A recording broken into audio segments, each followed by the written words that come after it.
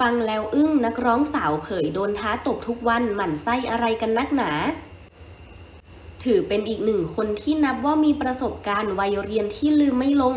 สำหรับนักร้องนักแสดงสาวแกรนด์ กรภัสสรณ์ ด้วงเศียรเกล้า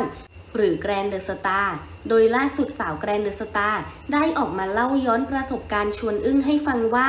สมัยเรียนโดนรุ่นพี่ท้าตบทุกวันไม่รู้ว่าหมั่นไส้อะไรนักหนา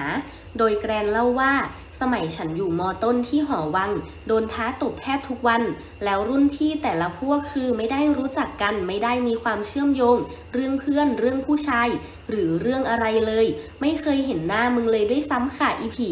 ท้าอยู่นั่นทุกวัน งงหมั่นไส้อะไรนักหนา หรือสงสัยสมัยนั้นทาอุทัยทิพย์เยอะไปมั้งมันมีจริงๆนะที่ว่าจะมาตบเพราะเผลอไปมองหน้าเขาฮ่าฮ่า กูก็เอาเดินผ่านคนไปมา ก็ปลายตาไปทั่ว ไม่ได้ตั้งใจจะมองมึง ไม่ได้มีอะไรให้ต้องมองเลยค่ะพี่ กูมองไปทั่วๆอยู่เนาะ